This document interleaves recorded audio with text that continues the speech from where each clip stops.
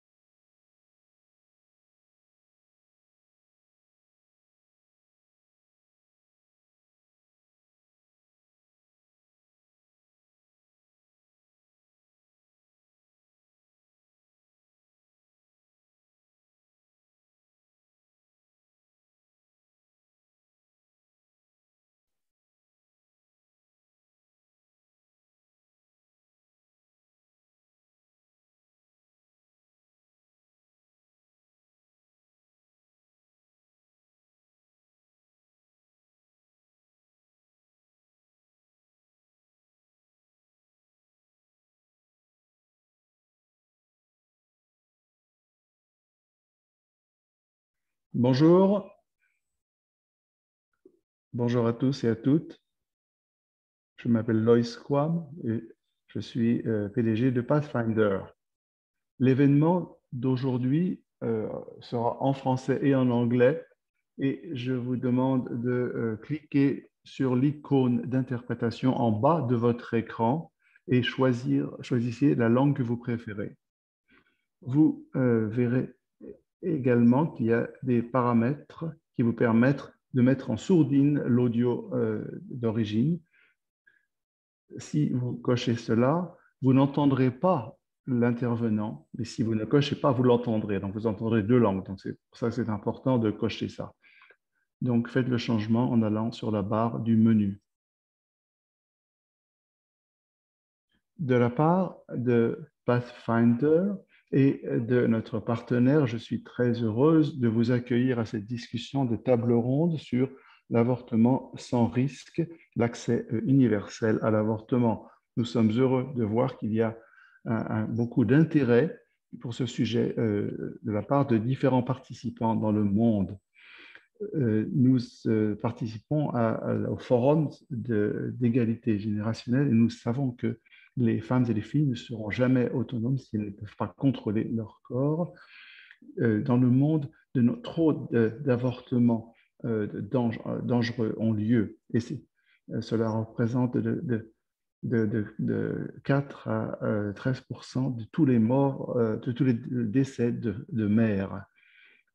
Il ne faut pas tolérer la poursuite de cette situation. C'est pour ça que nous avons mis l'accent sur les soins complets pour un avortement sans risque, pour permettre aux femmes et aux filles d'exercer leurs droits, d'exercer euh, leurs droits en matière de santé sexuelle et reproductive, pour euh, assurer euh, des soins sans danger pour les femmes les filles qui ont besoin d'avortement. Nous nous adressons aux partenaires, aux donateurs, aux bailleurs et autres parties prenantes pour qu'ils fassent euh, en sorte que euh, les avortements sans risque deviennent la réalité. Cela va, nous voulons donc réduire les barrières, les obstacles à euh, l'avortement sans, un avortement sans danger et nous voulons faire en sorte que tout le monde puisse en bénéficier. Nous avons beaucoup de sujets à traiter et pas de temps à perdre. Donc commençons dès maintenant. Je voudrais présenter le modérateur, Elisha Don Giorgio, pour le panel vice-président de, euh, à PAI. Je vous passe la parole, Alicia. Merci beaucoup. Euh, bonjour à tout le monde euh, qui est présent ici dans le monde. Euh, je confirme effectivement que genre, la présence de, de PAI, ses représentants, je serai la modératrice pour cette session. Et nous avons un panel très intéressant, mais avant que nous présentions les panélistes. Euh, je veux dire que nous avons la chance d'être euh, d'avoir la présence de la directrice adjointe de l'agence suédoise SIDA, Karine, et elle répondra à vos questions. Merci Karine d'avoir pris le temps d'être avec nous aujourd'hui. Merci de m'avoir euh, permis d'être ici, de participer à ce débat sur un sujet très important. Oui, donc je voulais simplement euh, entendre quelques mots de votre part avant d'ouvrir le, débat, car vous avez joué un rôle très important, euh, votre organisation a joué un rôle très important dans la promotion de l'avortement sans risque. Et en plus de cela, vous avez été très active en organisant des réunions et euh, poursuivant un dialogue sur l'avortement sans risque. Et je voudrais euh, peut-être que vous puissiez euh, nous parler en quelques mots du point de vue des, des, bailleurs sur, sur ce dialogue. Parlez-nous un peu de, des dialogues qui ont lieu sur les soins complets pour l'avortement. Merci à nouveau de m'avoir donné cette opportunité euh, merci à Pathfinder d'avoir organisé cette euh, conversation très importante sur euh, l'accès aux soins complets pour un avortement sans risque. Ce dialogue est très important et le dialogue qui a lieu actuellement est très important et il offre une plateforme qui nous permet en tant que partenaires de travailler ensemble, de collaborer pour un changement inclusif et équitable. Euh, nous avons commencé en 2016 euh, par une réunion à Stockholm avec un programme pour un avortement sans risque. C'est à ce moment-là que le programme a été établi et ce programme a été euh, adapté, mais ce programme euh, a permis de guider les conversations, de galvaniser l'action euh, par euh, toutes les parties prenantes et avec les différents partenaires, et, y compris avec les, donateurs. Et les participants ont identifié huit priorités pour permettre de réduire les coûts de, dans notre programme. Et c'est un engagement que la Suède a pris pour euh, former une coalition qui pourrait jouer un rôle dans la promotion de l'avortement sans risque.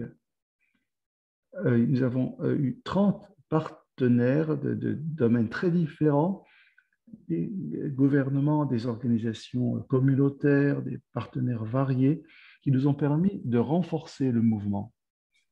La discussion pendant le dialogue sur l'avortement sans risque s'est développée et cela a permis de euh, nous, euh, de travailler tous ensemble en tant que partenaires égaux et, de partager toutes euh, nos actions, nos informations et cet accès sur les besoins des personnes qui ont besoin de soins pour l'avortement. Et nous avons organisé un système de financement très flexible à long terme qui euh, nous permet d'avoir en place un mécanisme de financement pour les mouvements sur le terrain, les organisations communautaires, pour permettre d'organiser un changement euh, à long terme. Et nous avons fait euh, des, efforts pour renforcer une plateforme, à la fois mondiale et des plateformes régionales, avec, grâce à cette collaboration sur différents sujets. Je voudrais également partager quelques euh, points euh, importants sur cette euh, discussion qui sont importants pour des bailleurs comme nous, mais qui concernent également les autres partenaires.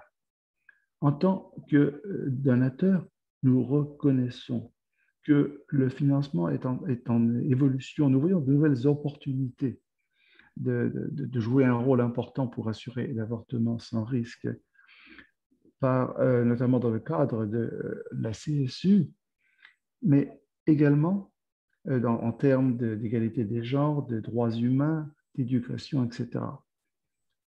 Un autre, une autre chose que je voudrais dire, c'est que nous fournissons des, mouvements qui permettent de euh, contrôler les dépenses et de les axer notamment sur les jeunes et d'en faire bénéficier les organisations de femmes également. Il y a également des discussions euh, euh, visant à structurer de façon plus permanente par syndication ces, programmes pour atteindre toutes les populations concernées.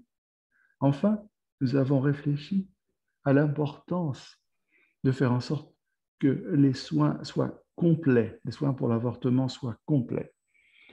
Et nous devons toujours nous souvenir du fait que euh, nous devons euh, passer de, la dimension très limitée que nous avions avant à une dimension beaucoup plus complète maintenant, parce que l'avortement est toujours interdit dans 24 pays il faut lutter pour changer cela. Voici quelques-uns des points que je voulais dire sur le dialogue en cours sur l'avortement. Et euh, merci pour votre attention. Merci d'avoir partagé ces idées. Euh, c'est intéressant de voir ce mouvement euh, sur un point très important. Je vais vous demander une, poser une question de plus avant de passer la parole aux panélistes, mais je voudrais peut-être que vous partagiez euh, la vision de l'agence suédoise SIDA sur ce sujet. Mais je vais essayer de parler brièvement, je sais que j'ai que quelques minutes.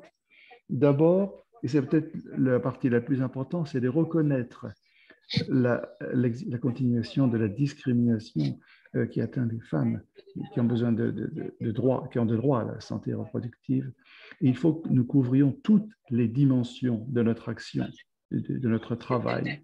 La Suède hein?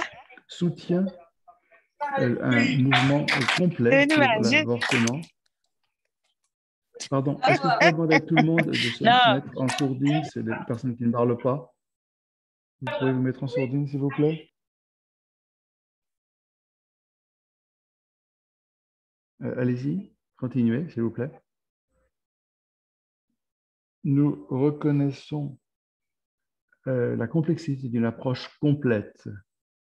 La Suède est un avocat euh, actif pour les droits à l'avortement et nous avons continuer à travailler pour euh, mettre en place notre, nos, atteindre nos objectifs dans le cadre de la couverture sanitaire universelle qui est de plus en plus développée.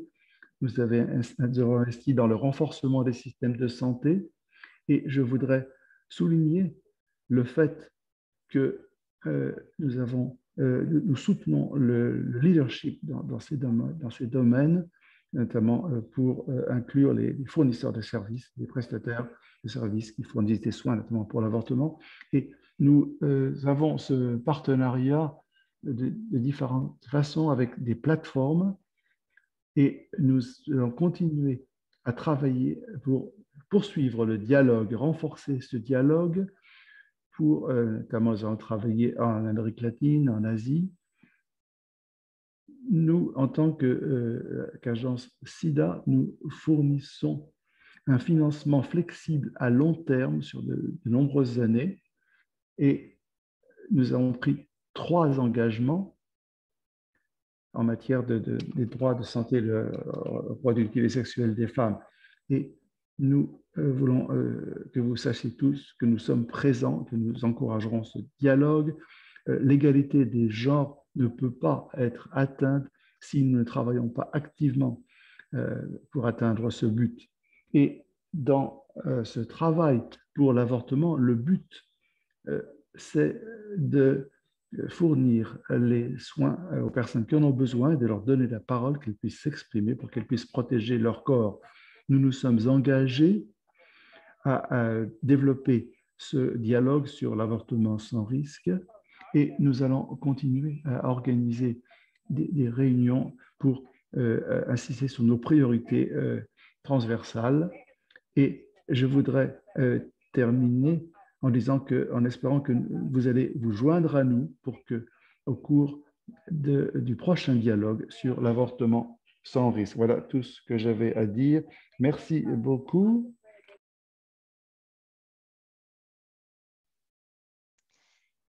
Bien sûr, grâce à la, vision de l'agence SIDA, donc nous apprécions l'approche globale et holistique sur l'ensemble des systèmes de santé et, l'incorporation d'un accès euh, universel aux soins complets en cas d'avortement.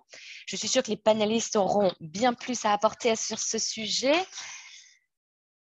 Donc, petite note aux participants, si vous avez des questions pour Karine ou pour les panélistes, vous pouvez les écrire dans le chat et nous, les, euh, nous essaierons, nous ferons nos possible d'y répondre un petit peu plus tard. les, toutes les personnes du panel peuvent euh, allumer leur vidéo. Euh, nous avons également le plaisir d'avoir d'avoir la présence d'autres de, panélistes dont je vais, que je vais présenter.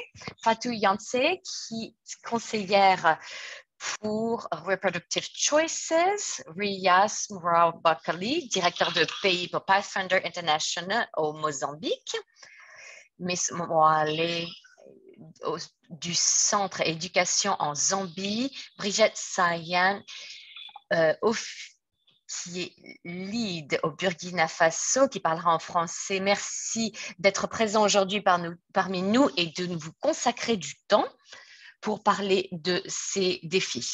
Je vais commencer avec un petit peu de contexte pour chacun d'entre vous, avec une table ronde, et ensuite nous accepterons des questions de l'audience. Je voudrais commencer avec vous, Fatou, et je voudrais rappeler à tout le monde, et c'est un rappel aussi, qu'il y a l'interprétation simultanée. Donc, si, on peut parler un petit peu euh, plus lentement, être gentil et généreux pour nos interprètes, et ce, sera, ce sera très apprécié. Merci beaucoup. Donc, Fatou, pour quelqu'un qui travaille pour euh, MSS, pour le choix de reproduction, votre portefeuille est énorme. Euh, vous avez votre expérience est, remarquable. Qu'avez-vous observé d'un point de vue de compte contexte global pour l'accès à, l'avortement. Merci Alisha et merci de m'avoir invité. Je vais parler essentiellement de, de, l'Afrique et de ce continent est énorme. C'est que d'un point de vue du pays, et dans le pays, le, pays est à différentes, différentes étapes dans différentes régions. Mais le point commun, c'est la tension entre euh, le, ce qui est juridiquement accepté, ce qui est légal et ce qui n'est pas légal. Au, Sénégal, par exemple, l'avortement est totalement interdit. Il est autorisé euh, parfois euh, pour, euh, dans des cas de, de, vie très risqués, mais il est, il est nécessaire d'avoir trois signatures. Donc, en gros, pour résumer, c'est quasi impossible d'avoir accès à l'avortement au Sénégal. Très mais la Cour d'éthique a, a mainmise. Au Niger, c'est permis, c'est autorisé pour préserver les, les, vies. Cependant, mais il est hautement stigmatisé et euh, par conséquent, les informations et l'accès aux services est extrêmement limité. Et, pour euh, les, gens qui font du travail pour parler, c'est extrêmement difficile. Au Mali, c'est autorisé en cas de, de viol et d'inceste, mais en 2002, il y a une loi qui est stipulée euh, et ça n'a pas encore été, c'est encore passé sous forme de loi. En Afrique de l'Est, il est extrêmement restreint. Par exemple, au Malawi, Tanzanie, il est uniquement permis pour, euh, pour préserver des vies, pour sauver des vies. Au Kenya, il, y a, il est extrêmement limité et minimal. Et, également, euh, pour le Zimbabwe, mais aussi euh, on parle de, il y a énormément de limitations pour, pour avoir accès. Donc, de façon générale, on peut dire que l'accès à des services, l'accès universel aux soins complets en cas d'avortement euh, est extrêmement limité en raison des lois, parce qu'ils sont notamment limités juridiquement ou en raison des, stigmas qui empêchent tout accès euh, aux femmes d'avoir accès euh, à ces soins. Très souvent, même très souvent, le, stigma est, un véritable problème, mais de plus important pour les femmes, pour qu'elles aient accès, euh, euh, accès à des soins complets et sans risque, elles, doivent avoir accès à des recommandations en place, mais aussi des formations et une, une sensibilisation aux problèmes par un travail de pourparler sur, euh, sur le terrain. Merci beaucoup, Fatou. C'est un, un, bon, euh, un bon aperçu de la région. Riaz, Mozambique, je pense que c'est un, un, montre aussi un exemple de, ces tensions qu'a évoqué euh, Fatou. Merci beaucoup. Bonjour et bonsoir à vous tous, où que vous soyez. Tout d'abord, merci pour nous, donner l'opportunité euh, d'être présents et de donner le, contexte du Mozambique pour montrer un petit peu le travail et les progrès qui ont été effectués au Mozambique.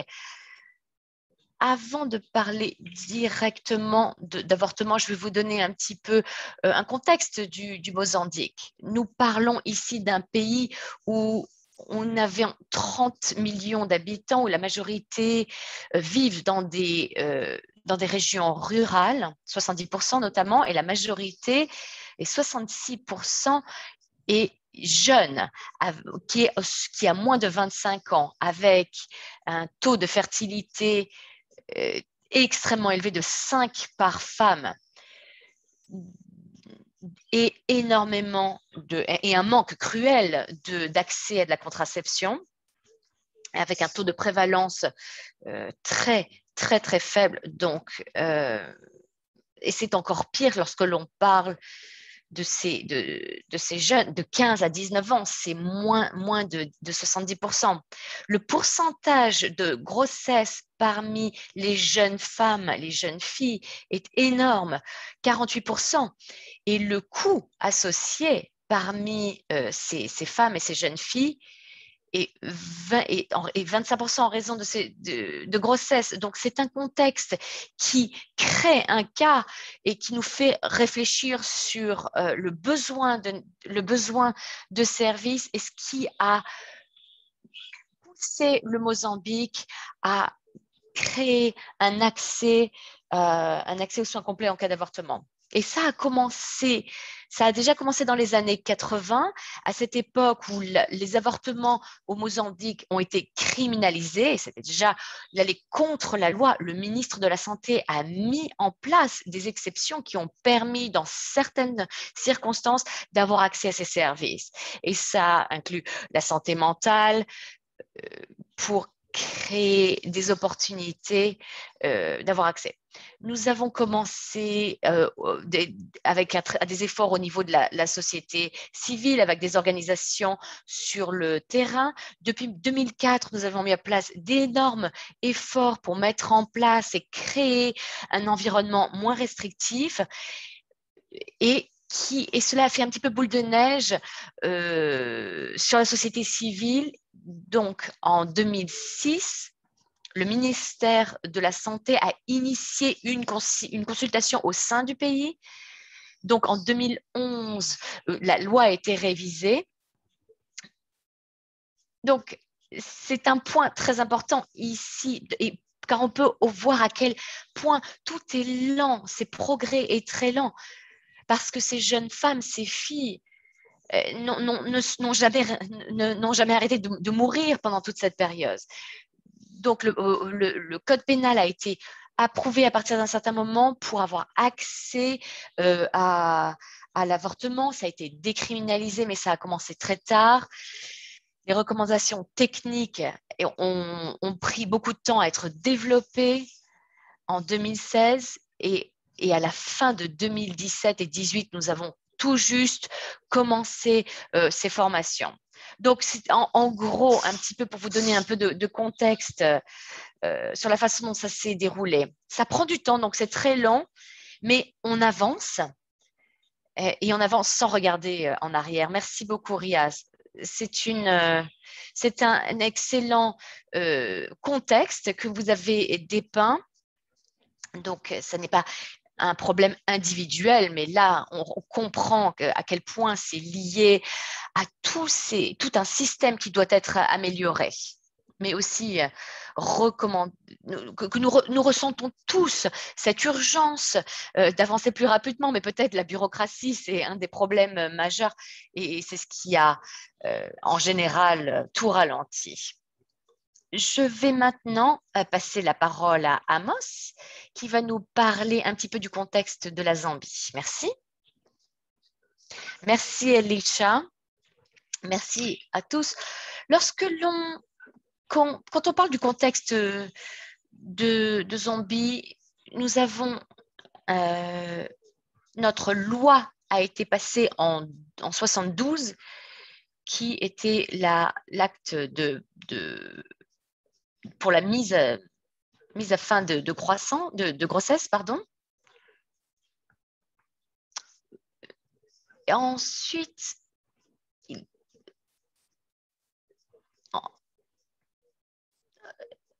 la, majorité, des, services nécessaires se sont concentrés essentiellement sur les soins post-avortement.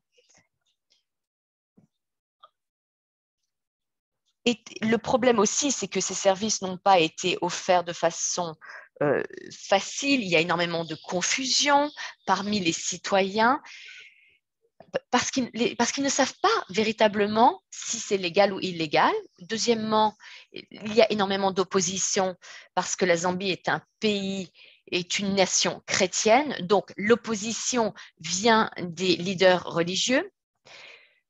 Et nous avons également remarqué au cours du temps que les fournisseurs de soins font partie des, obstacles principaux parce qu'ils utilisent leurs valeurs personnelles euh, pour utiliser ou pas, euh, pour fournir ou pas ces services. Donc, même si euh, le gouvernement a énormément d'influence, nous avons des recommandations qui sont sécures. Voici, elles sont là dans, ce, dans cette petite brochure. Mais vous allez voir que les fournisseurs de soins d'un point de vue individuel ont du mal à accepter ces recommandations en raison de leurs valeurs personnelles. Donc, deuxièmement, au niveau du gouvernement euh, de la Zambie, ils ont mis en place le protocole de Maputo qui, pour s'assurer que ces recommandations sont suivies de près, en Zambie, nous avons deux lois pour, euh, qui garantissent l'accès à l'avortement. Nous avons également l'égalité et l'équité en de 2015 pour garantir que les femmes elles sont protégées euh, et pour faire en sorte qu'elles aient accès aux soins euh, de santé reproductive et sexuelle. Mais en dépit de cela, le débat sur l'avortement revient constamment sur le tapis parce qu'il y a confusion euh, sur ce qui est autorisé et ce qui n'est pas autorisé. Merci beaucoup. Merci beaucoup, Amos je crois que ce que je comprends d'un point de vue euh, collectif, c'est que les lois sont nécessaires, mais la première étape ici à franchir, c'est un effort euh, pour faire en sorte que l'avortement soit accessible. Brigitte, vous êtes dernière, mais pas, mais pas des moindres. J'espère que vous pouvez nous donner un petit peu de contexte pour le Burkina Faso.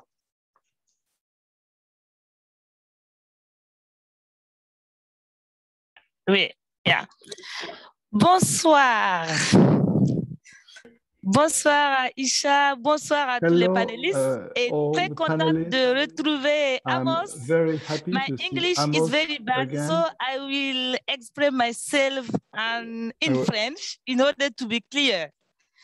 Amos, I'm very happy to see you again.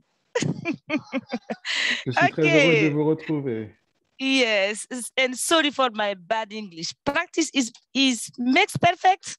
So I will go in French. Parler français. Yeah. Parlant du contexte de l'accès à l'avortement sécurisé au Burkina Faso, et il faut dire que euh, le Burkina Faso, il y a un tout petit pas de franchi mais il euh, reste encore à faire. Uh, Contrairement à d'autres pays de l'Afrique de l'Ouest francophone, au Burkina Faso, l'accès à l'avortement sécurisé est autorisé à des conditions précises, strictement encadrées. En cas de viol, en cas d'inceste, en cas de malformation fœtale. Malheureusement, il faut dire que ce contexte favorable n'est pas du tout uh, exploité à sa juste uh, valeur. Parce que tout simplement, les femmes qui sont les principales bénéficiaires et les premières bénéficiaires ne sont pas du tout informées de ces dispositions législatives, juridiques qui peuvent véritablement les accompagner à jouir pleinement de leurs droits en santé sexuelle et reproductive. Deuxièmement, et même le peu de femmes uh, et de jeunes filles informées uh, qui ont connaissance et qui tentent uh, véritablement de jouir de ces dispositions juridiques font face à un certain moment donné à un personnel de santé qui n'est pas du tout favorable à l'offre de services uh, aux soins d'avortement uh, sécurisés. Parce que tout simplement, à travers, bien sûr, euh, les présenteurs socioculturels, les us et coutumes, ce sont des situations qui continuent toujours aujourd'hui de bloquer l'accès de façon paisible à ces services euh, de soins à l'avortement sécurisé. Ce qui donne à voir un contexte difficile avec un nombre très croissant de, filles et de jeunes femmes avec des grossesses précoces non désirées et même des grossesses indésirées. Ça, c'est au niveau du personnel de santé. Et malheureusement, ou bien heureusement, je dirais, c'est vrai que la procédure d'obtention euh, de ces dispositions ont, a été, et, ont um, été révisées pour favoriser uh, l'accès aux, aux, aux, éventuelles victimes mais uh, malheureusement, n'étant pas uh, informés, et aussi souvent faisant face à, de, à des personnels juridiques qui ne sont pas véritablement informés, du coup, la procédure devient longue parce que ces victimes n'ont pas un écho favorable au niveau de la uh, justice.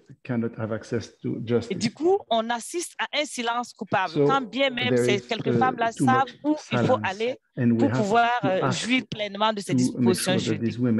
Aujourd'hui, ce qui peut être fait pour que euh, les autorités puissent réellement prendre cette situation au sérieux, j'ai identifié trois grands axes. Le tout premier point, il faudrait que l'ensemble des acteurs de la société civile puissent donner une place de choix à la recherche. Parce que qui parle du plaidoyer parle d'évidence. Sans évidence, il sera véritablement impossible de pouvoir convaincre les autorités de faire bouger les lignes. Uh, C'est un appel parce que quand vous regardez dans tous les différents pays, la recherche reste le volet le plus pauvre. Nous avons uh, besoin des uh, évidences, mais malheureusement, l'ensemble des partenaires techniques et financiers ne veulent pas du tout mettre des ressources sur ça. Alors que sans évidence, il sera véritablement difficile de faire, euh, d'amener les autorités à prendre cette problématique au sérieux. Le deuxième point, il faudrait impérativement que l'ensemble des organisations de la société civile puissent aller en uh, rang serré. Plus uh, nous partons en rang serré, nos voix vont compter Malheureusement, on se rend compte que nous avons un certain nombre d'acteurs de la société civile qui partent en rang dispersé, ce qui ne donne pas un véritable poids à nos priorités de plaidoyer et qui, qui vient en même temps plomber nos objectifs vis-à-vis de ce que nous sommes en train de rechercher pour l'ensemble de ces femmes. Le troisième point, ce que je propose, c'est de pouvoir véritablement soutenir aussi le nouveau profil d'activistes de militantes qui se dessine et qui est en train de faire son bonhomme de chemin en Afrique de l'Ouest francophone. Je fais un clin d'œil aux féministes, aux activistes qui sont sur les réseaux sociaux, aux blogueuses qui poussent et qui talonnent les autorités uh, en cumulant apprentissage, uh, discussion, co-construction et lobbying vis-à-vis de ces autorités pour les faire prendre conscience et connaissance que cette situation que les femmes et les jeunes filles sont en train de vivre, c'est une uh, situation qui peut être résolue. Ce n'est pas du tout quelque chose de figé. Il suffit seulement qu'une volonté politique forte puisse réellement prendre les choses en main et nous allons certainement permettre à ces jeunes femmes et à ces filles de pouvoir jouir pleinement de leurs droits.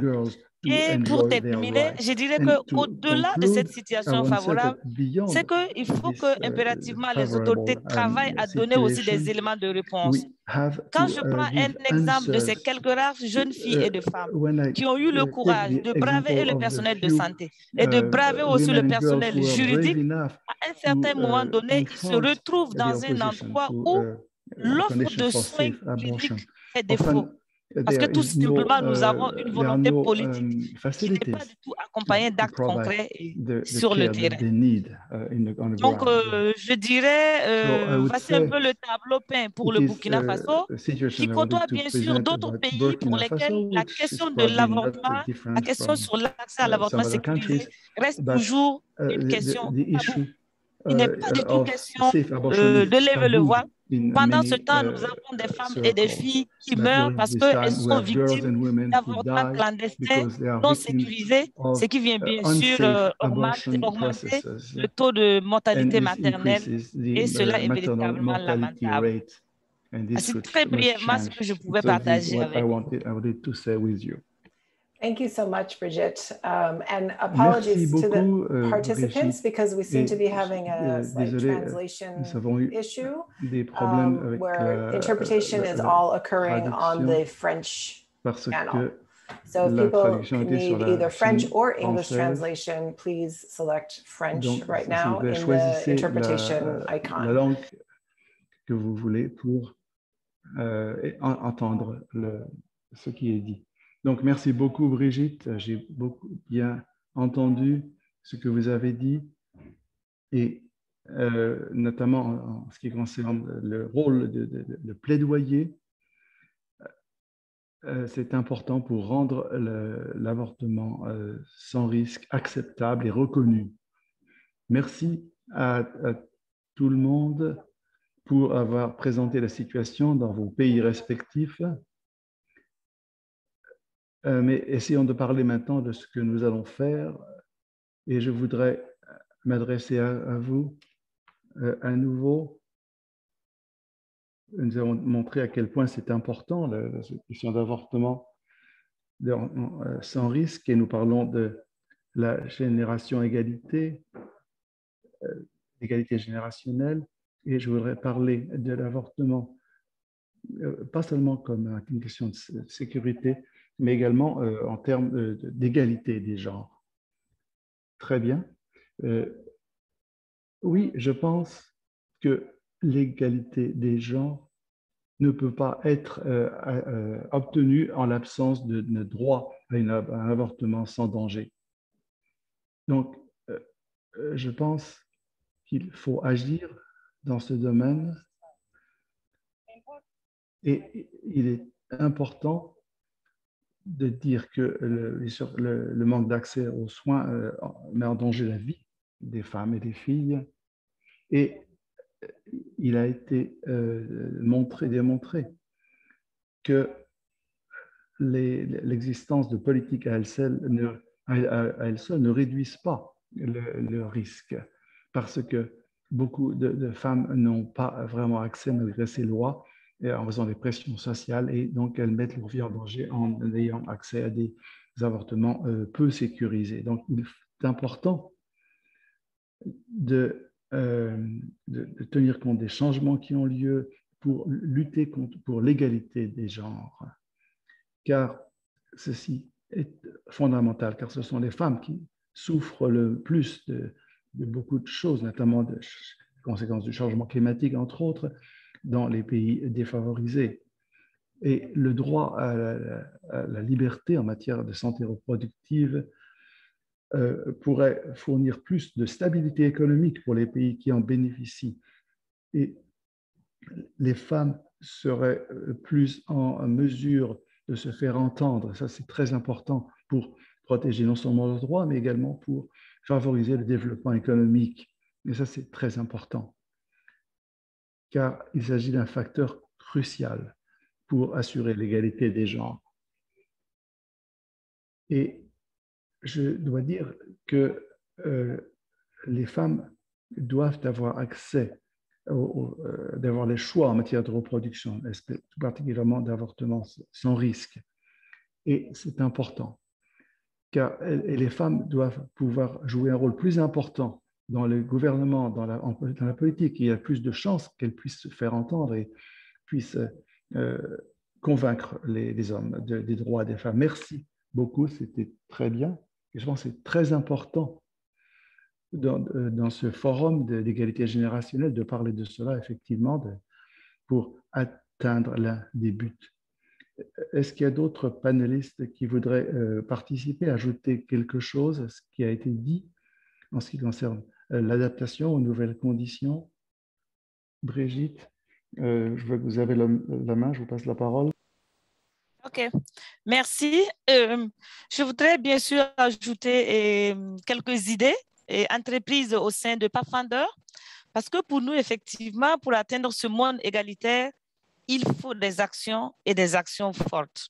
Et pour cela, au sein de la structure, nous travaillons à transversaliser le genre, que ce soit dans tous nos projets, dans tous nos programmes et même dans les politiques institutionnelles de la maison. Parce que pour nous, le genre, c'est un comportement. C'est vrai qu'il faut donner les informations vraies et justes, mais il faut pouvoir l'inculquer en soi-même et être un témoin vivant pour permettre aux autres de mieux comprendre et de savoir faire ce qu'il faut effectivement faire pour que le genre puisse avoir une place de choix. Deuxièmement, ce que nous avons aussi entrepris, c'est de former l'ensemble du personnel de santé. Parce que comme vous le savez, c'est à l'intérieur de ces centres de santé que par moment, les femmes et les jeunes filles candidates à ces, à ces services se retrouvent complètement face à un mur difficile à franchir. En fonction de d'où tu viens, en fonction de ton niveau d'instruction, en fonction de comment tu t'exprimes, on a des préjugés, on a des attitudes qui, permettent de continuer l'ancrage des inégalités dans les centres de santé. Et du coup, ça, ça, ça amène véritablement à bafouer le droit de ces derniers. Au-delà du personnel de santé, nous avons aussi entrepris à former des journalistes pour qu'ils puissent donner l'information vraie et juste. Parce que quand on parle de l'avortement, quand on parle du genre, on a l'impression que chacun y va euh, de son gré. On donne des informations, on donne des messages qui ne sont pas véritablement des messages que quelqu'un qui veut construire le genre doit, doit donner. Et du coup, on se retrouve que, on se retrouve avec des gens qui se disent comprendre le genre, et mais au contraire, il se crée d'énormes problèmes. Du coup, nous pensons que euh, avoir une masse critique de personnes informées qui ont l'information juste et vraie peut être aussi une solution à démolir tout ce qui est inégalité au sein, des, au sein de, nos, euh, de nos sociétés. Et pour nous, effectivement, cette masse critique, là, il faut bien sûr la, la garder. Et en ayant ces créneaux d'information justes et fondés, nous pensons que nous allons pouvoir contribuer à déconstruire les mentalités. Parce que, comme vous le savez, avec tous ces construits sociaux, ça fait que, eh ben voilà, je suis issu d'une famille dans laquelle euh, je suis né, ou bien issu d'une famille dans laquelle papa fait comme ça, ou bien maman fait comme ça. Cette reproduction de, la société me suit et par moments, c'est véritablement difficile pour moi de laisser ces mauvaises pratiques qui ne sont que des nuits de culture et d'inégalité. Et au-delà des projets, programmes, il y a aussi le volet institutionnel de la structure qui va nous permettre effectivement d'avoir un regard avec des lunettes char sur tout ce qui est équipe euh, programmatique, sur tout ce qui est aussi équipe au niveau de l'administration. Et nous pensons que ces éléments euh, mis ensemble pourront aussi apporter leur part de contribution en matière de lutte contre les inégalités. Merci. Merci beaucoup, Bridget. Est-ce que, est vous est-ce que vous voulez parler de l'inégalité de genre ou est-ce que vous voulez peut-être vous parler un petit peu, l'évoquer au niveau de, chacun de vos pays, comment, comment détruire ces obstacles, ces barrières? Vous avez fait, euh, vous avez mis vous nous avez donné euh, extrêmement euh, d'excellentes informations au Mozambique, par exemple Riaz. Comment, comment est-ce que vous travaillez au Mozambique pour justement détruire, détruire ces barrières et faire un travail de pourparler Absolument. Merci beaucoup, Elisha. Je pense que je vais commencer. Ce, je, vais, ah, bah, je vais utiliser ce qu'a dit euh, Fatou et Brigitte, je pense que le point central ici, et ce qui a été, ce qui a été dit, c'est que l'égalité des genres, l'autonomie, ce sont des points clés.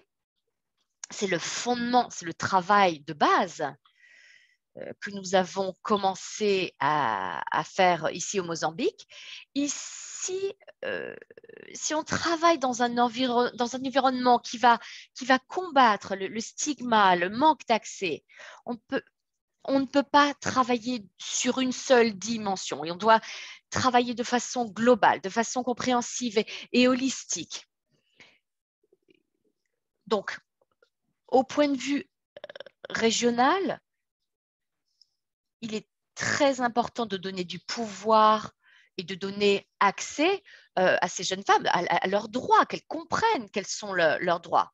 Hein. c'est une question de droit ici, cet accès à l'avortement il est très important ici que chaque jeune fille, jeune femme sache ce à quoi elles ont droit, où sont leurs droits, où elles peuvent avoir accès à ces services? Et pour citer un exemple, nous avons euh, travaillé dans des, dans des régions rurales, face à face, sur le terrain, effectuer des formations, travailler directement avec ces jeunes femmes, ces jeunes filles à l'école, dans, leurs écoles. Et bien évidemment, c'est quelque chose qu'il faut que l'on commence euh, très jeune. Évidemment, ce n'est pas un travail que vous pouvez faire quand, elles sont adultes. Il faut vraiment travailler à la préadolescence. Donc, travailler, donc je me répète ici, mais c'est travailler euh, avec elles de façon très jeune, qu'elles comprennent quels sont leurs droits. Donc, ici, c'est la déconstruction de la masculinité, parce que là aussi, il faut travailler avec les, garçons, les jeunes gens. Donc ça, c'est la, dimension régionale. Et ensuite, je reprends un petit peu les termes de Amos, c'est donner du pouvoir à la société, au terrain, travailler avec la communauté sur le terrain est très important pour permettre de réduire les vulnérabilités et la discrimination. Ça a été possible grâce euh, à nos travail sur le terrain avec les communautés, en travaillant par exemple avec euh, des, leaders sur le terrain. Hein, donc on a parlé d'un pays catholique ici en Zambie. Donc ici, travailler avec les leaders religieux et a permis d'avoir accès à ces, euh, à ces soins. Donc, c'était quelque... on en pensait que c'était quasi impossible de, de, de, travailler avec les religieux, les, leaders religieux euh, musulmans. Mais en fait, même dans le Coran, même dans la Bible, euh, ils peuvent utiliser ces écrits pour avoir accès euh, à cela. Hein, donc, parce qu'on parle de vie ici. Donc, on a commencé à travailler avec eux. Mais ça ne s'arrête pas ici. Les, personnes à la tête du, foyer, par exemple, hein, le chef du foyer, dans les, zones publiques, c'est un rite initiatique la présence lors, de, lors des naissances. Donc, ces, personnes, donc les, sages-femmes, les, sages-femmes qui vont donner naissance aussi ont un rôle très important euh, pour euh, à jouer dans les, dans les foyers. Donc, elles peuvent faire passer le message.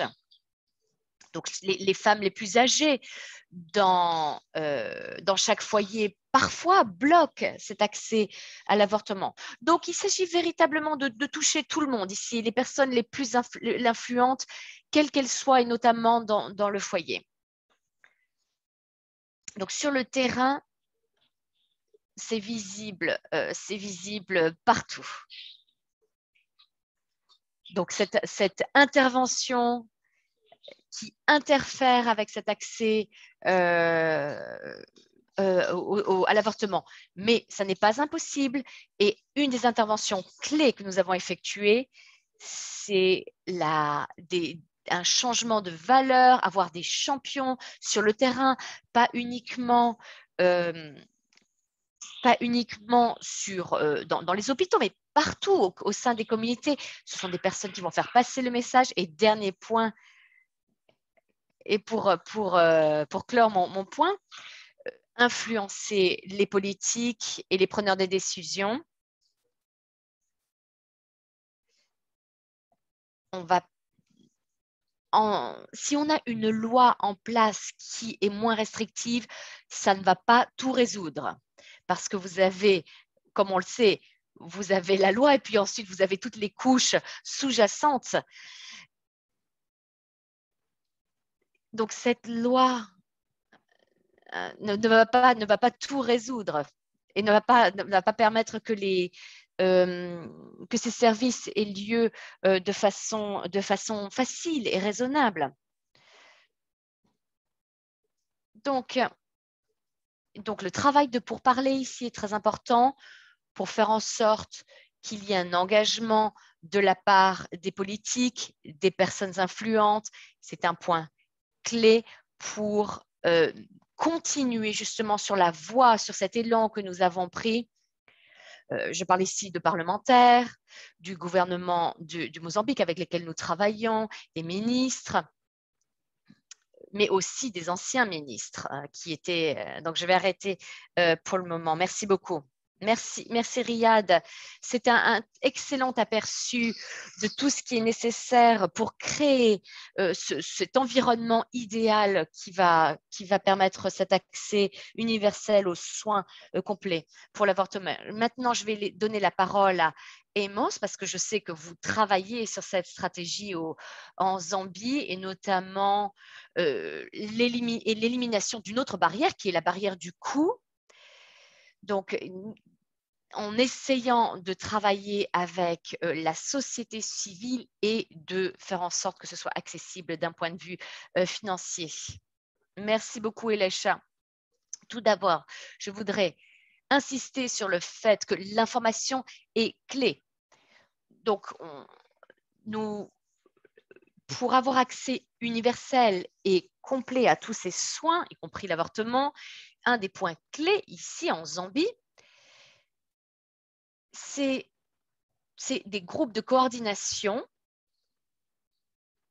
et des conseillers qui travaillent directement avec les services d'avortement.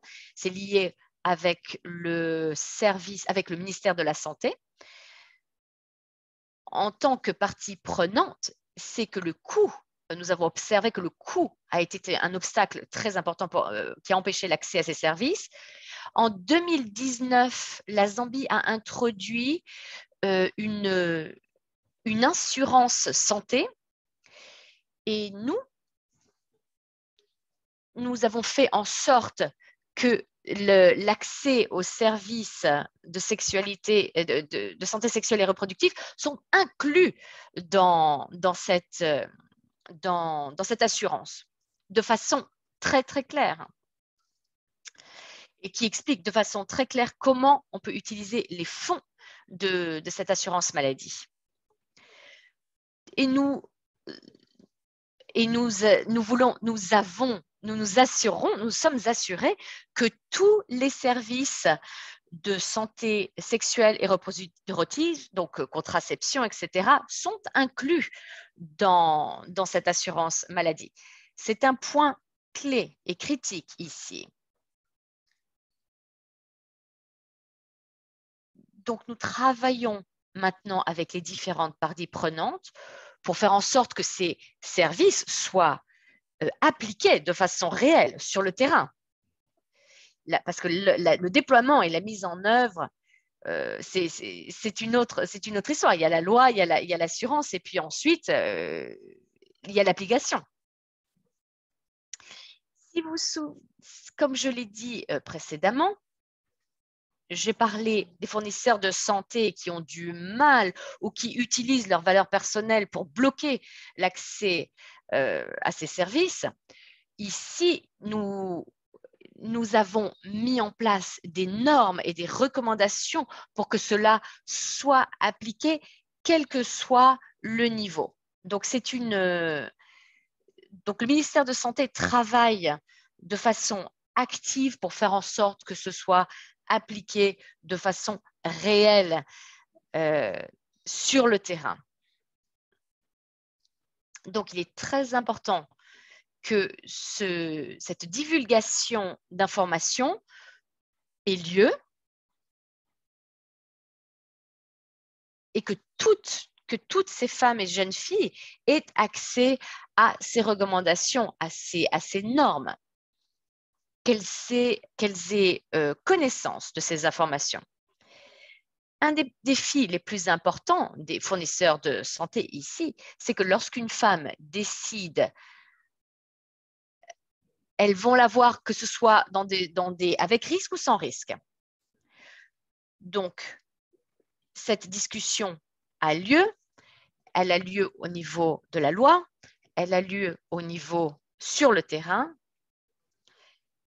Il existe des, euh, recommandations qui ont eu lieu au niveau du, Parlement qui font en sorte que que, les droits de, des, droits de l'homme sont respectés ici, dans ce cas ici. Merci beaucoup, Amos. Énormément d'informations ici. On parle beaucoup du, biais des fournisseurs de, soins ici, de, leur, de, de, les projections de leurs valeurs personnelles. Et, je suis ravie d'entendre qu'il y a véritablement des, stratégies pour corriger cela. Brigitte, peut-être est-ce que vous parlez un petit peu euh, de ça en ce qui concerne la, jeunesse au, Burkina Faso, justement sur ce biais euh, des fournisseurs de santé. Qu'est-ce que vous faites ici pour réduire les stigmates en ce qui concerne l'accès des jeunes aux soins d'avortement? Merci bien.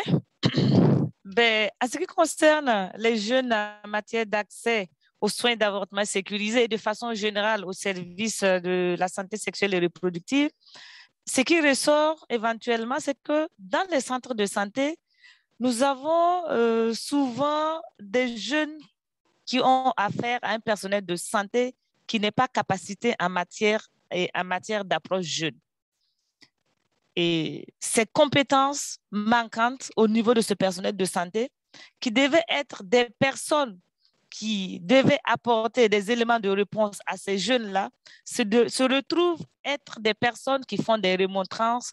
Du coup, euh, ces attitudes découragent les jeunes. Et malheureusement, n'ayant pas eu de réponse au niveau des centres de santé où ces jeunes pensent pouvoir trouver des réponses, ils se retrouvent bien sûr euh, à utiliser ou bien à pratiquer des méthodes archaïques non sécurisées, ce qui vient éventuellement compliquer la chose. Deuxièmement, quand vous regardez dans les centres de santé, nous avons des centres de santé qui ne sont pas véritablement des centres conviviaux. Ce n'est pas forcément des centres où on a des équipements qui répondent aux besoins et aux désirs des jeunes. Et du coup, euh, ces jeunes ne sont pas du tout motivés, non contents de pouvoir trouver un cadre idéal qui les enchante pour pouvoir échanger avec eux de façon discrète, euh, sans être vus par les tantis et les tontons qui fréquentent ces centres-là. Ils se retrouvent aussi face à des tantis et à des tontons qui s'érigent qui en moralisateurs et du coup, le panier, il devient tout simplement difficile.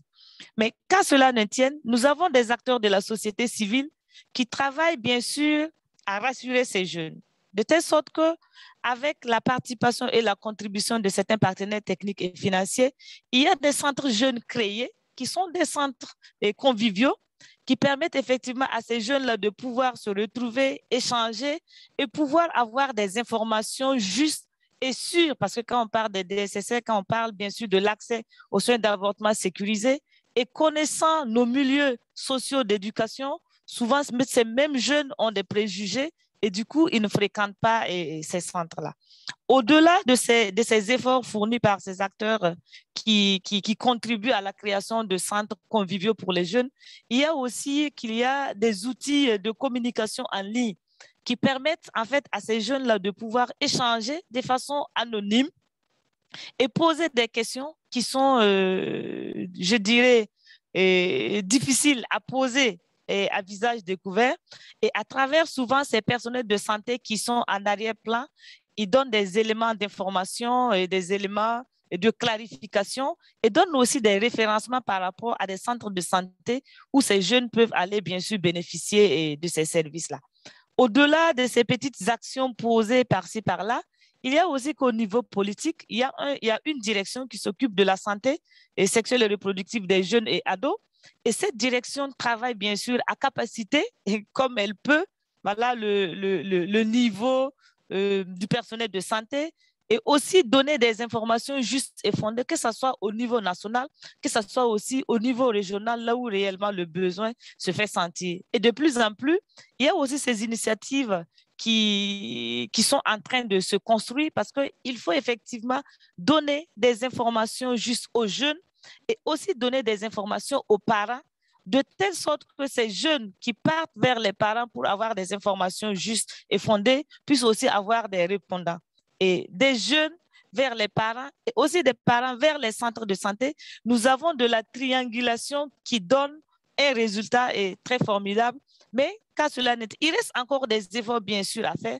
Souvent, c'est des idées, souvent, euh, c'est aussi ces problèmes de financement qui font qu'à un certain moment donné, on a ces jeunes qui n'arrivent pas véritablement à pouvoir se retrouver dans des cadres de concertation, dans des cadres d'échange pour pouvoir se donner aussi euh, des idées.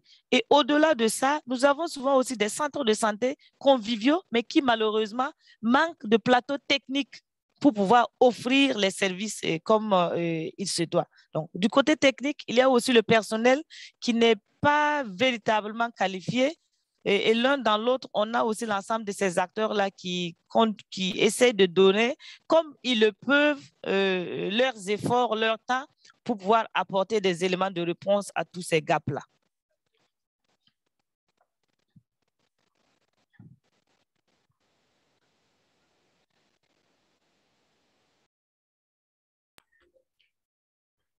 Merci Brigitte.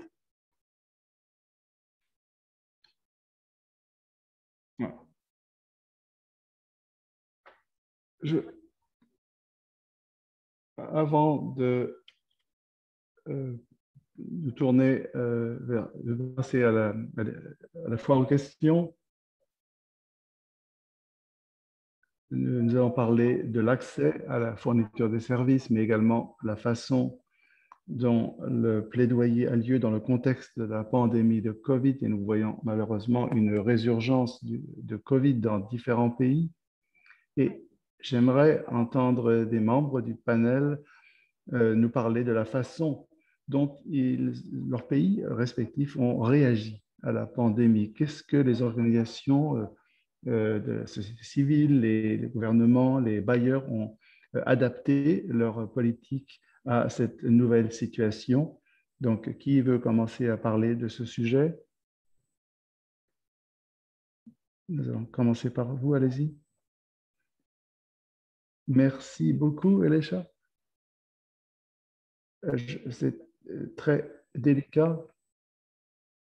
Nous ne, nous attendions pas à, une telle pandémie, bien entendu. Mais j'aurais commencé par dire qu'en termes de, de plaidoyer,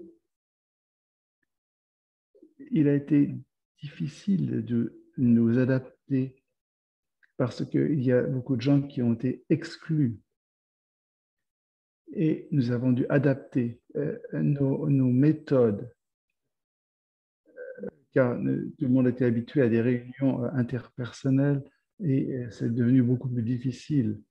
Et les décisions qui ont été prises ont, ont dû tenir compte de cette nouvelle situation. Une des choses que la Zambie a fait,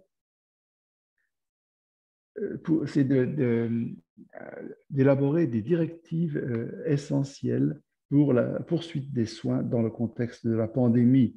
Mais lorsque, euh, dès le début de la pandémie, nous avons euh, vu que les gens ne se rendaient pas dans les établissements de soins et cela a eu un impact considérable. Les gens ne se rendaient plus dans les centres de santé. Donc, il a fallu nous adapter. Et ce que nous avons fait, c'est d'expliquer aux, gens ce qu'il fallait faire pour, notamment en termes d'obtention de, soins pour des avortements sans risque, tout en limitant les, risques de contamination de Covid. Et donc, nous avons fait en sorte que des systèmes euh, de distanciation sociale puissent être utilisés au maximum. Et euh, en plus de cela, nous avons organisé des activités euh, de sensibilisation pour les écoles notamment. Et nous avons également utilisé les médias sociaux pour essayer de, transmettre nos directives. Rias, est-ce que vous voulez parler maintenant? Oui, merci. Merci, Elisha. D'abord, je voudrais euh, m'appuyer sur ce qu'Amos disait.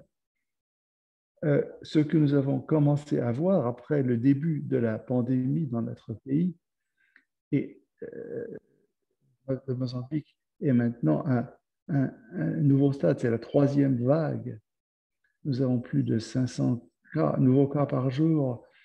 Et d'abord, c'était l'impact sur la prestation des services dont on a parlé nous avons vu euh, une réduction de la demande de services des gens qui ne se rendaient pas dans les établissements de santé, mais en même temps, au niveau des établissements de santé, les prestataires de soins commençaient à avoir peur. Euh, euh, ils se rendaient compte que leur travail était très risqué.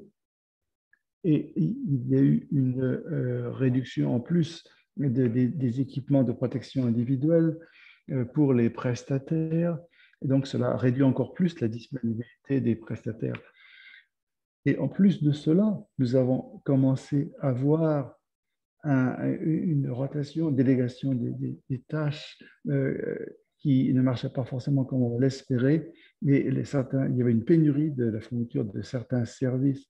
Et euh, malgré les recommandations du gouvernement et du président, euh, il était difficile de s'adapter pour euh, poursuivre, la, poursuivre les services, la fourniture des services, mais ce n'est pas suffisant parce que euh, il y a eu des, des, informations erronées qui ont circulé très vite et les, souvent beaucoup de personnes ne voulaient pas se rendre dans les établissements de santé parce qu'ils avaient peur de contracter la Covid. Et euh, il y a eu en plus des, euh, mesures de confinement, les gens ne pouvaient plus sortir aussi autant qu'avant, euh, notamment le soir, et donc ça a réduit la demande de services et également la disponibilité des services parce qu'il y avait moins de prestataires disponibles. Et donc nous avons tiré les leçons de ce qui ne marchait pas, nous avons essayé de nous adapter, nous avons travaillé à plusieurs, de plusieurs façons. Le ministère de la Santé a commencé à euh, lancer des programmes de formation adaptés à la nouvelle situation pour les prestataires de soins et pour euh, multiplier les, lignes directes, les appels par téléphone pour permettre de, donner des explications, des informations aux clients et les encourager à se rendre dans les établissements en leur disant que les conditions euh, de santé, de sécurité est préservées. Et nous avons travaillé avec des partenaires au sein de la société civile notamment, et, nous avons euh, affecté des ressources du gouvernement central et des collectivités locales pour, euh, notamment en nous assurant que les informations euh, correctes étaient disséminées, notamment avec une ligne de, de, de numéro d'appel direct sans frais. Et nous avons utilisé plus la télémédecine et fait le suivi à distance euh, c'est ce que nous avons essayé de faire, mais ça n'a pas toujours été possible, notamment pour atteindre des régions euh, plus éloignées.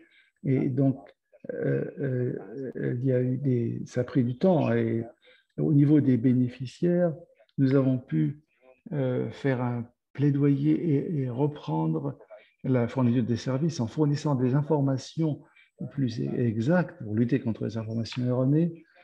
Et nous avons compris qu'on ne, peut pas bloquer complètement les services communautaires, mais il faut euh, éduquer les gens. Et ça, c'était le point de, base, montrer les mesures de sécurité à prendre, se laver les mains, utiliser des produits d'assainissement et de désinfection, et porter des masques. Et euh, nous avons fait de, grands efforts pour convaincre la population. nous voulons faire deux choses à la fois, à la fois accroître l'accès aux soins de contraception et d'avortement sans, risque, mais en même temps montrer quelles mesures de sécurité prendre pour se protéger. Voilà en, quelques mots ce que, nous avons appris pour ce que nous avons fait pour assurer la continuation des services. Nous avons compris que nous devions être proactifs, c'était la clé, parce que nous avons euh, vu des nouvelles situations et il fallait pouvoir nous adapter et nous devions pouvoir surmonter les problèmes et appliquer les recommandations, les adapter pour encourager un, dialogue communautaire. Euh, nous avons euh, permis des réunions jusqu'à neuf personnes, mais pas plus, à condition qu'elles portent des masques. Nous avons rappelé aux gens de se laver régulièrement les mains et nous avons donc engagé un dialogue avec la communauté. C'était le point de départ. Euh, la, disponibilité d'équipements de protection individuelle était cruciale pour permettre aux prestataires de faire le travail. Mais enfin, ce qui était essentiel, c'était de, s'assurer que les produits seraient disponibles, que le matériel serait à la disposition des prestataires pour fournir les services. Et nous avons eu des fois des pénuries de produits. Donc, nous avons euh, fait en sorte de euh, réaffecter les ressources pour assurer la continuation des services nous avons eu des pénuries, je répète, euh, euh, comme beaucoup d'autres pays, mais nous avons pu euh, progressivement atténuer l'effet de ces pénuries et nous avons pris des mesures pour nous adapter tout le temps pour nous assurer que les services continueraient à être fournis. Merci beaucoup. C'était une très, très bonne présentation de la situation dans votre pays et beaucoup d'autres pays euh, ont des problèmes similaires. Est-ce que vous avez, il reste une minute là, mais est-ce que vous avez, euh, est-ce qu'il y a des questions euh, Est-ce que vous avez des commentaires sur la question de la COVID? Allez-y, merci. Oui, je suis tout à fait d'accord avec les autres panélistes. C'était très difficile. La pandémie a posé beaucoup de problèmes à tous les niveaux, mais dans beaucoup de programmes, nous avons pu euh, nous adapter faire un plaidoyer pour continuer à fournir des services et promouvoir les services de contraception et euh, d'avortement sans risque et de poursuivre la fourniture des services. Donc c'est une chose que nous avons réussi à faire.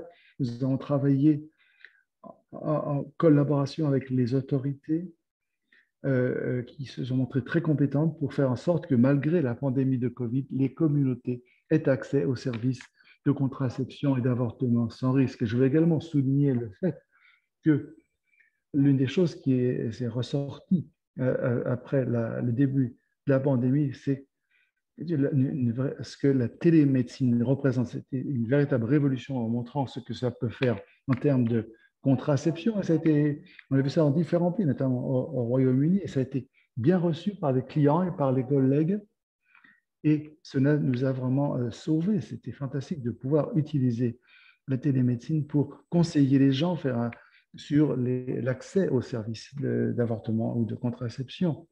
Et cela euh, nous a permis d'attaquer de, à d'autres problèmes, notamment en matière de soins euh, après l'avortement. Merci beaucoup. Je sais qu'il y a beaucoup à dire sur la révolution de la télémédecine qui est fantastique, mais je vais demander à Karen de donner son point de vue, notamment en ce qui concerne le financement euh, au niveau des pays. Pour euh, la, pandémie, oui, très brièvement, la, pandémie de Covid a, été une crise dans tous les pays, bien sûr, mais ce que nous avons pu faire, c'est que nous avons appris à tirer les, leçons d'autres crises antérieures, comme l'Ebola, par exemple.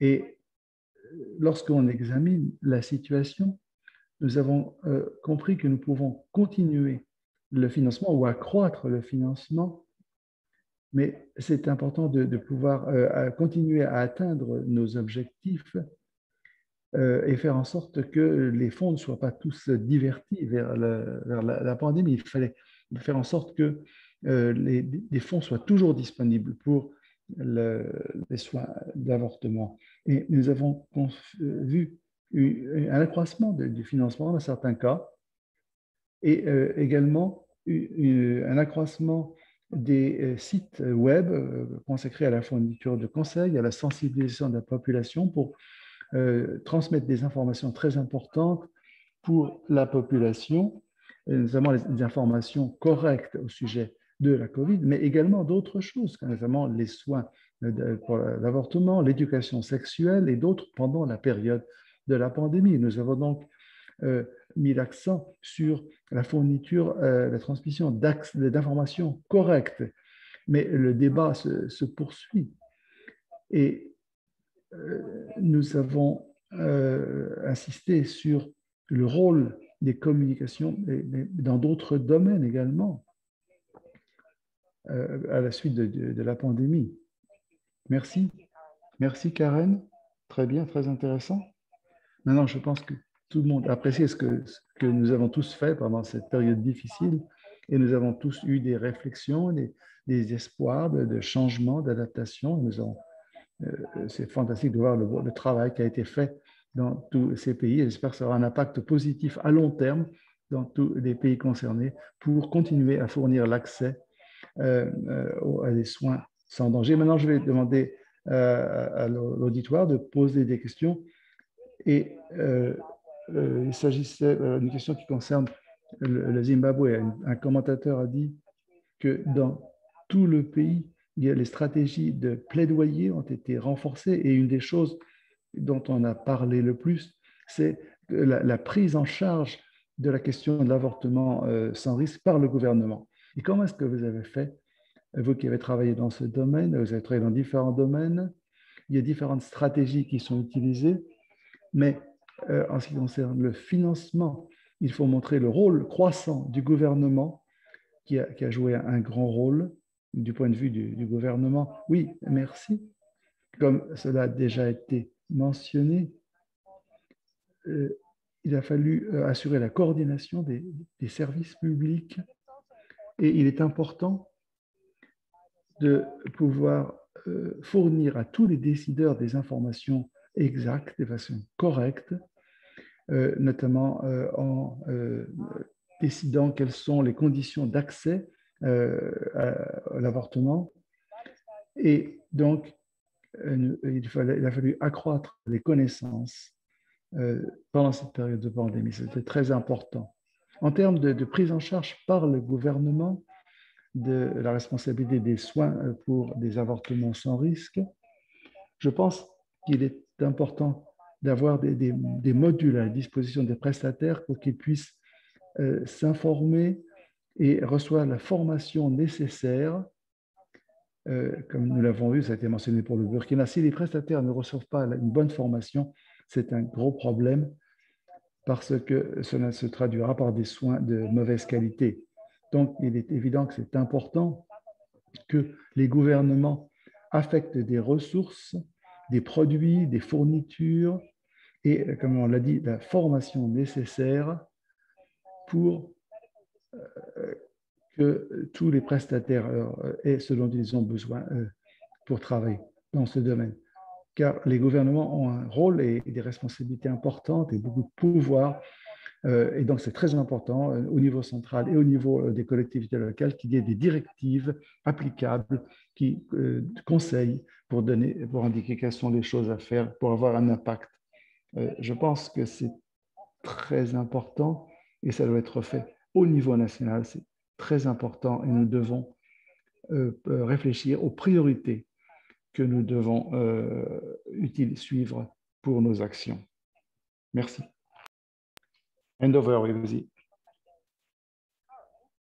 Question pour euh, Karine. Quel est le travail de, de l'agence CITA pour euh, les sages-femmes qui n'ont pas de formation euh, à proprement parler?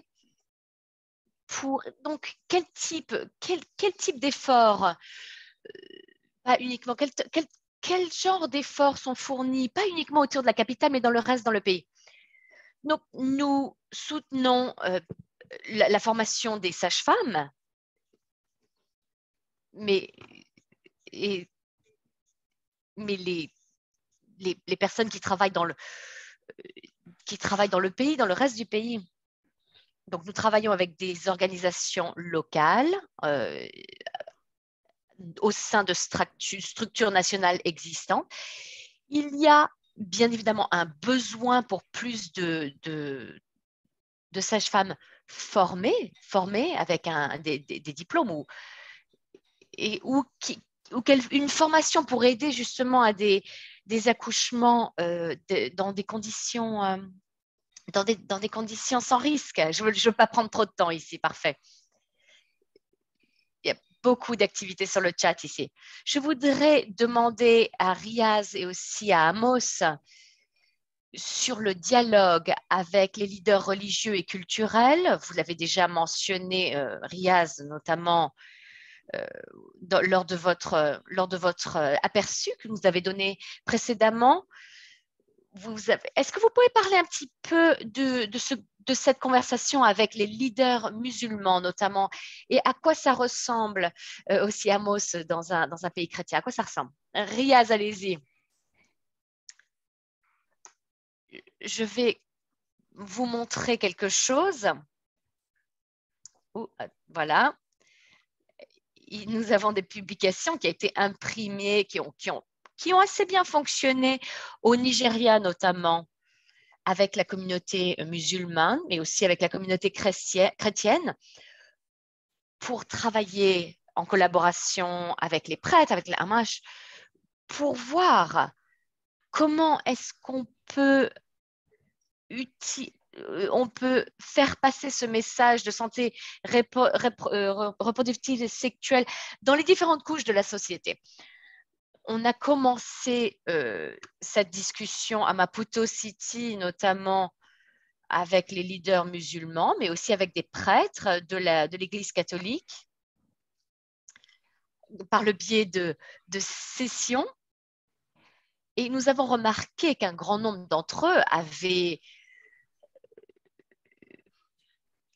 ils, avaient, ils étaient au courant de, décès, des morts de ces jeunes filles, ces jeunes femmes en raison d'avortements dans de terribles conditions. Donc, c'est quelque chose qui est réel, ça a lieu, on ne peut pas l'ignorer. Et on ne peut pas fermer les yeux sur ce, sur ce problème. Et il faut, il faut, il faut et euh, c'est peut-être pas quelque chose qu'on a envie d'entendre, mais il faut le gérer, il faut l'assumer. Donc évidemment, ça n'est pas facile. Bien évidemment, il y a beaucoup de leaders qui ne sont pas en faveur de tout ça, mais si nous formons ces champions, si nous les, nous les faisons parler dans différentes communautés sur le terrain où ils peuvent partager leurs points leur point de vue en utilisant des, vers, des, versets du Coran, par exemple, ou des extraits de, la Bible, pour qu'il y ait cette conversation lors, de lors des événements communautaires. Certains de ces de, ces, cette réunion communautaire,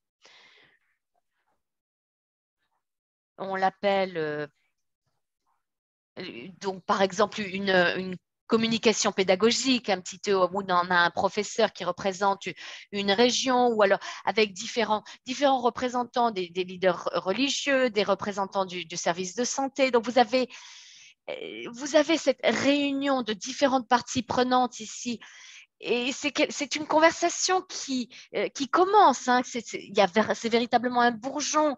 Euh, c'est naissant, on le reconnaît il ne s'agit pas seulement de, on ne parle pas uniquement d'avortement, mais on parle aussi de, des, mariages précoces, de ces unions prématurées, euh, de contraception.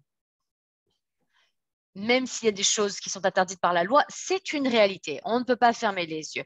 Donc, il s'agit vraiment, encore une fois, de rassembler ces parties, ces parties prenantes. Et ça a été, c'était un point critique. Donc, ça a été un point d'entrée très intéressant pour nous sur l'impact euh, que nous avons eu. Je voudrais juste ajouter, ajouter quelque chose. Donc, c'est la preuve. Donc, donc la, preuve de ces avortements, les chiffres euh, sont, sont absentes parce, parce qu'il faut créer ces résultats, il faut créer ces, ces preuves. Parce que la, mortalité maternelle euh, de 11% a été liée euh, à, tous ces décès. Mais quel est le problème? Quels sont les chiffres? Quelles sont les données? Il nous faut plus de données, de meilleures informations, parce que ces informations, ces données euh, parlent et permettront d'arrêter de, fermer les yeux et, de créer plus d'opportunités. Merci beaucoup, Riaz. Amos, vous avez quelque chose? On, est, on a presque fini, il nous reste quatre minutes. Est-ce que vous voulez ajouter quelque chose, de, un petit, quelques, quelques messages de parler il n'y a pas véritablement de, différence entre euh, ce qu'a dit Riaz et, ce que je vais dire. Le point le plus faible, le maillon faible ici, qui a été identifié, c'est qu'il y a très peu d'études sur les chiffres, sur l'avortement sans risque. C'est un investissement euh, que, nous devons faire. Mais en ce qui concerne des discussions avec les, leaders religieux, je vais utiliser mon, mon expérience personnelle ici. en tant que pour parler la dernière chose que vous voulez faire, c'est que vous, vous demandiez à un leader religieux de vous soutenir. Ils ne vont pas le faire. Donc, la meilleure méthode d'approche, c'est que vous leur demandez de, ne pas être négatif sur l'avortement. Voilà, ce sera probablement le meilleur résultat. Si vous y arrivez, vous allez faire du progrès. Vous leur donnez, vous leur donnez des exemples de chiffres de personnes, de femmes qui meurent. Et ensuite, vous allez un petit peu plus loin et vous leur dites, je sais, que ça a lieu et je ne vous demande pas de, nous soutenir ici, mais je vous demande de ne pas discriminer, de ne pas condamner et, d'être sur la même plateforme. Donc, c'est notre point d'entrée ici. Bien, évidemment, il y a énormément de champions qui soutiennent euh, le planning, la, planification, les services de planification euh, familiale, qui parlent, qui communiquent. Donc, mais tout ce qu'on leur demande, c'est de ne pas condamner, de ne pas empêcher. Et personne ne veut de discrimination. Hein. Donc ici, c'est tout ce qu'on veut ici. Voilà, c'est déjà un bon début. Merci beaucoup, Amos. Je pense que le silence est d'or. Euh, et c'est un point très important ici. Malheureusement, je sais qu'il nous reste encore beaucoup de questions, mais on arrive à la fin de, ce webinaire. Je vous remercie tous pour ce, panel incroyable. Et je crois que malheureusement, nous n'avons pas de temps, suffisamment de temps pour, euh, pour, que, pour des remarques de clôture, mais Karine, peut-être est-ce que vous voulez ajouter une petite phrase Merci encore euh, de nous avoir d'avoir été leader. Je ne vais pas essayer de, résumer ce qui a été dit, mais deux points qui sont évidents ici. Tous les acteurs sont importants ici. Société civile, officiels du gouvernement, politiciens, décideurs, leaders religieux, on en a parlé pas mal mais aussi le secteur privé doit, faire partie de, cette communication. Donc, tous les acteurs sont importants et doivent, doivent travailler en partenariat. Et deuxième point, le besoin de contexte. Pour, gérer ce problème, l'objectif est toujours le même, cette autonomie euh, de notre corps, mais la façon dont nous le présentons va dépendre de contexte à contexte. Hein. on a tous des difficultés dans le sud, nord, est, ouest, où que nous soyons.